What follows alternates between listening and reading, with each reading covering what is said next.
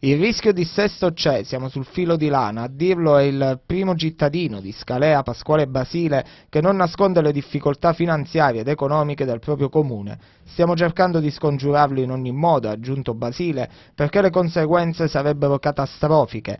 Dall'altra, ha spiegato, il dissesto è un rischio che tutte le amministrazioni si trovano ad affrontare.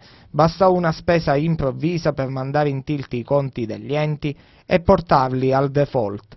A pesare sulle casse del comune l'evasione tributaria, vero salasso per tutte le amministrazioni. Infine il primo cittadino dell'ente altotirrenico ha voluto comunque precisare che l'ipotesi del dissesto per Scalea è molto lontana, visto che si verificherebbe qualora non si rispettassero determinati parametri e a dichiararlo sarebbe un organismo tecnico.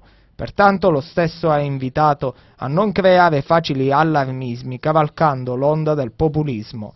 Nella stessa barca anche il comune di Belvedere, dove l'allarme dissesto è partito da mesi dai banchi dell'opposizione e malcelato dalla giunta guidata da Enrico Granata. Anche in questo caso sotto accusa l'evasione tributaria, tant'è che lo stesso primo cittadino ha riferito che con il pagamento dei primi tributi che rimpingueranno le casse riusciremo ad uscire dalla crisi di liquidità che stiamo attraversando ma l'ottimismo di Granata non è supportato dai fatti. Al momento l'ente belvederese non può permettersi il pagamento degli stipendi dei dipendenti comunali che avanzano ancora tre mensilità e l'estinzione dell'altissimo debito contratto con la Sorical che ha già provveduto a diminuire l'erogazione dell'acqua in alcune contrade di Belvedere.